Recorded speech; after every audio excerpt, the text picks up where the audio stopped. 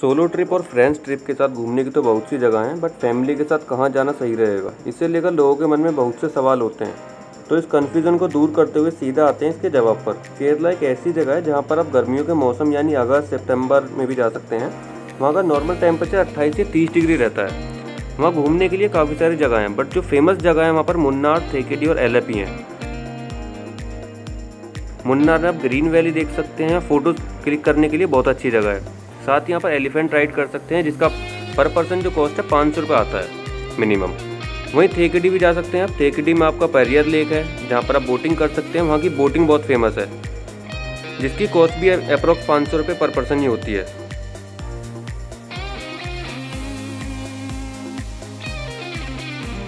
Last में आप L जा सकते हैं, जो कि कपल्स के लिए बहुत ज़्यादा फ़ेमस जगह है, केरला के अंदर। एलएपी में आप हाउस बोट ले सकते हैं। एक दिन का हाउस बोट का चार्ज आता है दो से तीन हज़ार स्टार्टिंग प्राइस जो हाउस बोट का। और यदि आप गोइंग बुक की मेंबरशिप से पैकेज आप बुक कराते हैं तो आपको टू नाइट थ्री डे के लिए होटल कॉटेज विला वो आपको फ्री मिलेगा। तो केरला टूरिज़्म के रिगार्डिंग आपके माइंड में कोई भी डाउट होता है तो आप कमेंट कर सकते हैं या फिर हमारी वेबसाइट विज़िट कर सकते हैं गोइंगबो डॉट कॉम